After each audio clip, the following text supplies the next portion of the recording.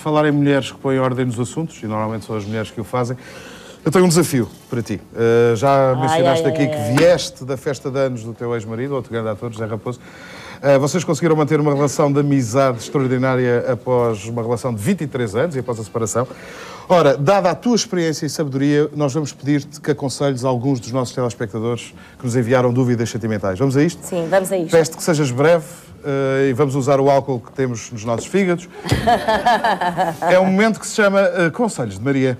E vamos à primeira dúvida. A minha mulher cheira muito mal dos pés, mesmo enquanto os lava. O que posso fazer é que, se não der para fazer nada, deixo-a. Escreve o A de estarreja. Uma pessoa de estarreja queixar-se de mau cheiro é. É porque, coitadinhos, eles têm as fábricas de celulose. É verdade. Não pode haver pior. Ele que vai mais vezes à fábrica de celulose para se habituar. Ou então que mande cortar os pezinhos à mulher. Uh, toma. Vamos à segunda dúvida. Não falo com a minha mulher há 10 anos. Provavelmente porque nunca me apresentei a ela. O que faço? Diz os, pergunta ao Jota de Coimbra.